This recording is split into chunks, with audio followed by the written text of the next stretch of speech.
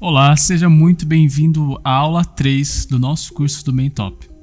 Meu nome é William Batista e hoje vamos aprender a importar um arquivo no Maintop e configurar a janela de impressão.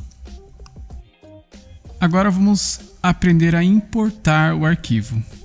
Um ponto importante aqui é que o Maintop vai aceitar o formato TIFF, então, independentemente do programa que você utiliza para editar sua imagem, ela precisa ser exportada nessa extensão TIFF para que depois o programa Mentop aceite esta importação. E para isso temos três opções. A primeira delas é clicando em File e depois Import Picture.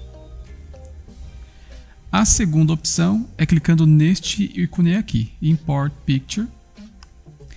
E a terceira opção é usando o atalho do teclado Ctrl mais I.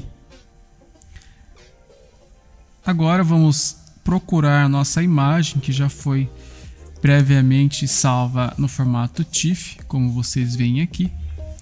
E agora você pode clicar em abrir. Após isso, vai aparecer esta janela aqui, que são as configurações de importação.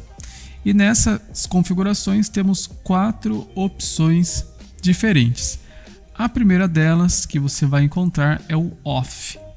Nesta opção Off, nada vai ser modificado. Então, sua imagem vai ser importada da maneira com que você fechou no seu programa de edição. A segunda opção, que é a Just Picture Size, vai ajustar a página ao tamanho da sua imagem. A terceira, Designate Width, ajusta a imagem à largura da página. Então, se por exemplo você ajustou a largura da página para 1 metro, logo a imagem vai seguir este tamanho pela proporção. A próxima opção, Designate Height, vai ajustar a altura da página. Depois de escolhermos a opção desejada, podemos clicar em OK. Temos também essa opção aqui, Rotate, que vai rotacionar sua imagem. No meu caso, não vai precisar. E agora eu clico aqui em OK. E está pronta a importação da minha imagem. Agora vamos configurar as opções de impressão. Para isso também temos três opções. A primeira delas é clicando em File e depois Print. A segunda é clicando neste ícone aqui, Print. E a terceira é com o atalho do teclado Ctrl mais P. Aqui nessa janela temos algumas opções de configuração. Aqui em Printer, nós vamos estabelecer a opção de driver que o arquivo será impresso. Como padrão, você sempre vai encontrar essa mesmo. Caso você precise alterar, nós vamos fazer aqui clicando em Properties. Mas isso vamos falar é, na próxima aula. Agora você encontra a opção Page, aqui você vai escolher qual página vai ser impressa. No meu caso só tem uma página mesmo, então posso deixar selecionado All.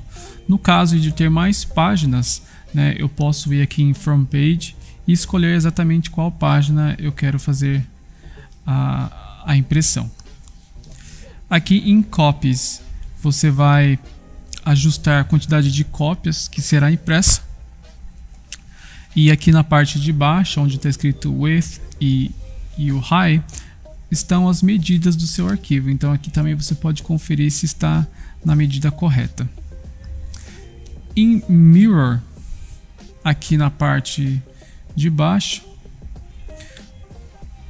você vai poder escolher fazer a, o espelhamento da sua imagem. No caso de você fazer alguma impressão em adesivo transparente precisar espelhar, você vai deixar selecionada essa opção. Aqui em Negative vai fazer a inversão das cores. E aqui em Inverse vai rotacionar a sua imagem em, em 180 graus.